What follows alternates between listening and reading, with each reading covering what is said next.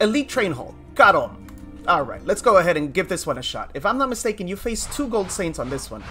And um, the secret to this one is to simply survive the first round, right? So you want to start off by giving Kiki, uh, using Kiki's ability to get some extra energy, and use Daedalus' skill on Shura so that you break his attack, right? You lower his attack power. Then just AoE with Gemini, and you should be able to survive this first round by like the skin of your teeth, you see? Just enough to stay alive.